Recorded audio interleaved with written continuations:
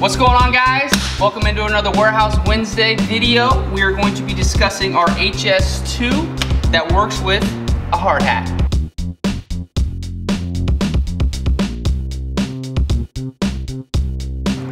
Okay, let's get started. First, you're gonna wanna take your hard hat. Most hard hats out there have these small notches on both sides of the hard hat close to where your ear will be.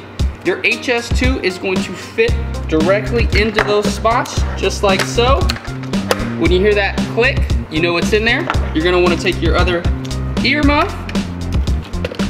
It's gonna click right inside, just like so. And then you're gonna take your cable,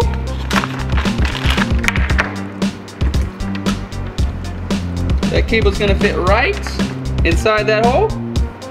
Boop. There you go. HS2 connected to a hard hat, baby.